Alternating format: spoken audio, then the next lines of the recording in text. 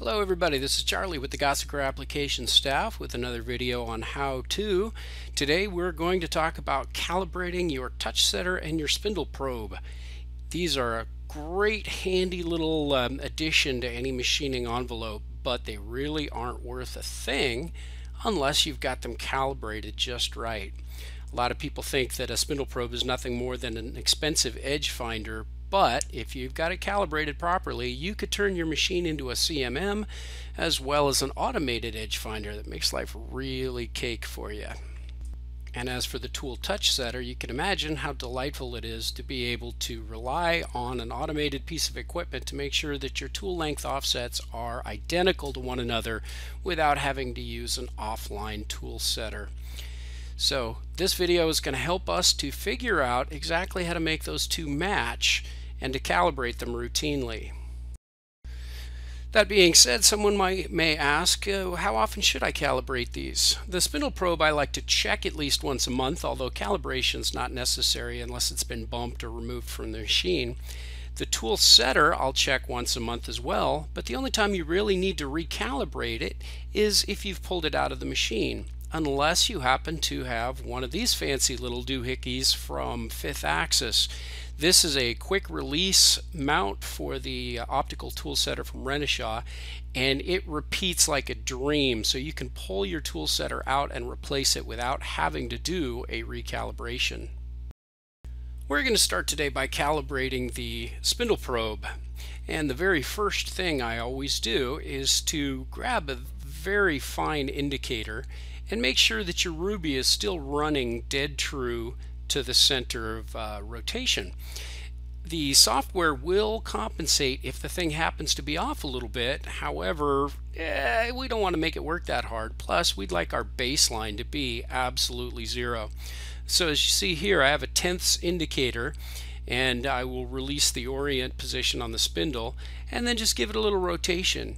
And there we've got about, oh, well, looks like I got some tension on the, uh, on the needle, but I've got about two tenths worth of run out. There are four small uh, set screws right at the base of the, um, the holder itself that will push the entire stylus body away from the indicator needle.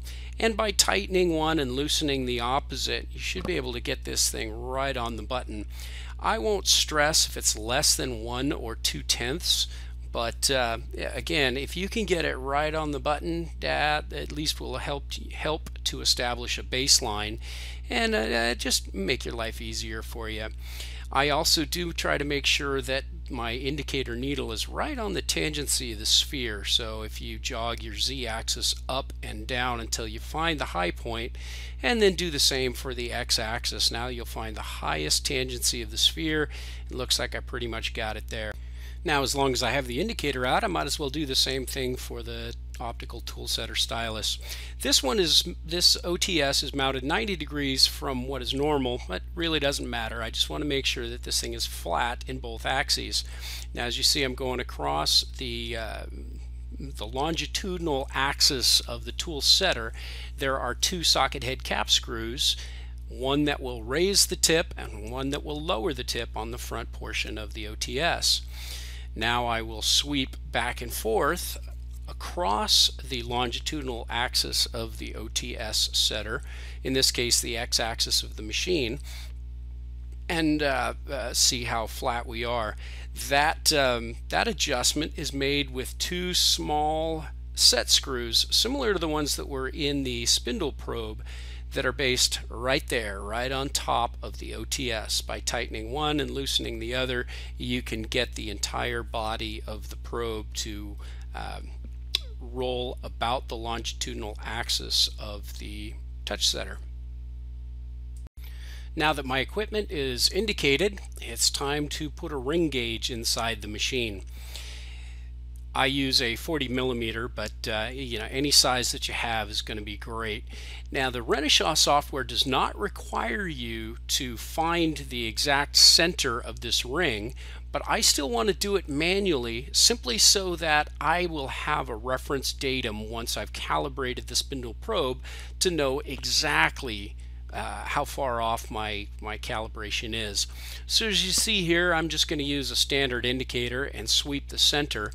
And uh, once I have that exactly where I want it, I'm going to set that to a work offset, just, you know, as if it was a piece of scratch paper.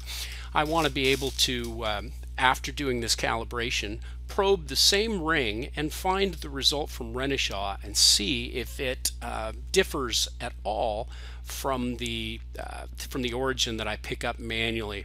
So I'm going to get this just uh, right on the button. I don't want to have any kind of variation whatsoever. And once I find the exact center of the ring gauge, now I'm going to translate that into a work offset. If I'm not already looking at the operator screen, I will just push the operations button on the control panel and then find the work setup tab on the upper right hand corner of the screen. I'm going to pick a work offset that's not already being used by something else, in this case number 5, and by tapping select 0 and OK, that's now the current active work offset and it's displayed in my position screen. To set it, I'll select X, calibrate, input, and do the same for Y, calibrate, input. So now the X and Y for work offset number 5 are set to be the center of my ring gauge. So now my spindle probe is all set and ready for the calibration process. It's time to start focusing on the tool setter. This tool setter requires a tool of a known length. I choose to use a gauging standard. This one is from meritool.com. It measures 4 inches gauge length and 0.3 diameter. If you don't have one of these, not a big deal. All you need to do is grab a gauge pin, stick it in an ER collet chuck, and measure it in the old-fashioned way by uh, using gauge blocks just to find the exact gauge length of that particular tool. Before I use this tool for calibration, I want to make sure that I register it in my library, make sure that I populate the height offset with the accurate length of the tool, in this case, four inches. Now that that's all set, I'm ready to rock and roll. So I'm going to find the Z position of my ring gauge by bringing my new four inch tool down to the top of the block I'm using a gauge block here so that I don't uh, have a little oopsie. But as soon as the gauge block fits right underneath it, I know now that my spindle face or my gauge line is exactly four inches from the tool and two inches from the gauge block away from the surface of my part. So I'll go back over to my work setup page, find the work offset that I was using, highlight the Z, and I will calibrate six inches, or in this case, I'm just going to do four inches for the uh, for the standard plus the two inches of the gauge block. Hey, did you know you could do math in the control? Boom. Now my zero position is set. I could also say calibrate 6.0. The number's exactly the same. No harm, no foul. For the people that have the Renishaw GUI installed on their machine, we're going to use this cycle. If you don't have the Renishaw graphic user interface, then uh, let's skip forward in the video and I've got a program sample in the uh, at the tail end of this that where you can run this manually. But for those with the graphic user interface, find that on the left side action buttons. And when you have your inspection cycle on, we're going to touch single cycle. And let's start with the spindle probe. So we'll touch spindle probe and we normally, you go to your measurement cycles, we're going to go with the calibration cycles this time. By touching that, here are the two different calibrations that we're going to do today. Let's start with the XY calibration. And if you notice, the picture shows you where to position your machine. Just hand wheel the spindle probe into the rough center. Eyeball is good, you don't have to be exact for Renishaw, but put it in the center of your ring gauge and below the level of the surface so that when it moves straight out, it will make contact with your ring gauge. So let's touch the XY calibration. It's showing us exactly our position. We do need to put in the diameter of our ring gauge. And we, mine is 40 millimeters, so let's say 1.5748. And then by hitting the send button, it's going to send a piece of code to your MDI. Make sure your machine is in MDI mode. Uh, that, that goes without saying if you've run the GUI before. You know that it'll pop up an alarm here that says, hey, wait a second, I'm not in MDI. But once you send that to MDI, it will send a piece of code into the buffer and you can then hit cycle start and execute the process. Once you execute cycle start, the probe will start touching the quadrants of the circle to find the center, and then it will do vectored probes into the ring gauge just to get a dimensional value from spindle center line to the outer portion of the ruby in every direction that it will move. Just as a footnote for you, uh, it is not a bad thing on the first time you execute this cycle to have your feed rate turned down, something less than 100%, just to make sure that something doesn't go funky. However, once you're certain that the cycle works, make sure you do the final calibration in 100% feed rate. This is because the um, the switches in the probe may trigger at a different time if your feed rate is modified during calibration from your standard motion. So once the process has been completed, now we're going to do the Z-Touch. So I'm going to come back to my home screen just to show you the process of going through it again. You could have used the back page. So single cycle, still working on the spindle probe calibration cycles. Now we're going to do the Z calibration and this is where it is very important that we set the surface of our ring in that previous step. Our reference surface based on the process we just used is going to be zero and we do need to make sure that that work offset that we set to the center of the ring gauge and the top of the face is the active work offset. Once we do that we'll hit the send button again. Now a couple of beeps on top of the ring gauge and we're calibrated in Z. Now that our spindle probe is fully calibrated let's move on to the touch setter. I'm going to go back to the home position on our GUI, the home button and now I'm going to mount the tool, the, the calibration standard in the spindle, hit my single cycle, express to it that I'm using the tool setter, and once again I've got a calibration cycle button right here on the GUI. Need to pick which type of stylus I have. For my machine it's a round stylus, so let's go ahead and touch that guy. The stylus diameter, as you notice the picture, it's referring to the actual plunger on the optical tool setter. So mine is half inch. The diameter of the calibration tool, notice the graphic changed for me, isn't that slick? Mine is 300 thousandths.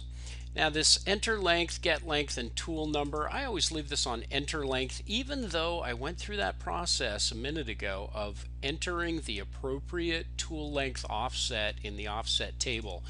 Uh, some of the older macros did not take into account a difference between a value entered here and one entered into the table. So I always leave this at enter length and the length of the calibration tool in my case is 4 inches. The optional stuff, I'm not even worried about. I'm going to leave that alone. Once I have this all in place, I'm going to hand wheel the calibration tool so that it is above the stylus. Let's get a picture of the stylus. Um, it's above the stylus by about, oh, 200 thousandths, give or take, and roughly eyeballed in the center. Doesn't matter if it's exact or not, I just need to get close. Then I'm going to hit the send button, send the program to MDI and execute. Once again, if I want to run this at a reduced feed rate, it's not a problem as long as I do my final calibration in 100% 100% feed so that it will calibrate at the same speed at which it's going to measure the tools. Once this information is in MDI, I'll hit the cycle slam button and the uh, probe will start measuring. I'm kind of giggling here, folks, because uh, I swear I'm using the same microphone for both facets of my uh, my video here, but I'm seeing a major difference in recording software quality. So Forgive me for that. Notice that once it has touched the length, it is going to fire the spindle in reverse and it's going to touch the sides of the stylus to find the center of the, um, of the stylus for very small tools. We want to be able to measure right there. and a third side, a couple of touches, and we'll be all done. Once again, if you have overridden your feed rate for this, you're going to want to execute the thing a second time at 100% feed, just so that uh, everything's all the same from calibration to uh, measurement. Once it's done, it's going to stop right in the middle of the stylus. And now we're done with calibration. If you don't have the GUI, pay attention to the next few minutes here and uh, utilize the pause button on YouTube if you like.